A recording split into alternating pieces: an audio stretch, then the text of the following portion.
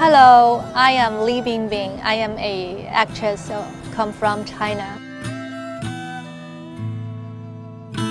When I was very little, I never think uh, and I never imagined I can be a, a, actress. Never. And my mother also said, you can, you are going to be an actress, unbelievable. Nobody think about that, that I'm going to be a uh, actress, but I think it's destiny, it's fate. During my work, I found it's an amazing job. I live a lot of life. Um, and I have a chance to have different life. I have a chance to pre pretend a different person. It's a wealth for me. How can I get this much thing in my life? If it's really suitable for you, it is, uh, it is uh, fashion. Not everyone, everything that you like is uh, suitable for you. That's, that's my uh, philosophy.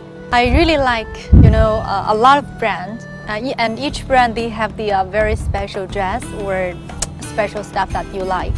And I like, uh, you know, Alexander McQueen. I love him very much.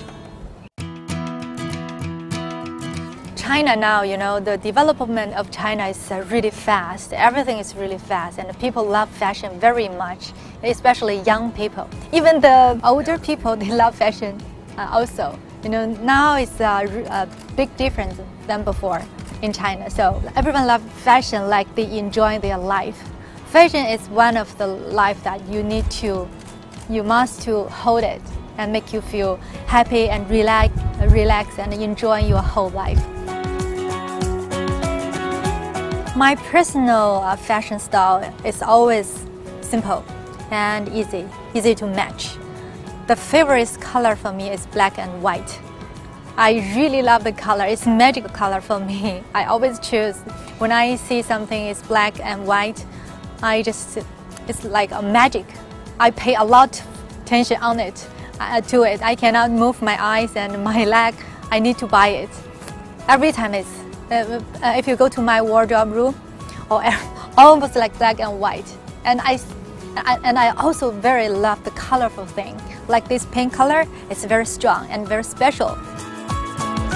I feel so grateful and appreciate everything. And I would, I would want, I would just suggest everyone to appreciate and cherish their life. Thanks everything. Thanks what we have now.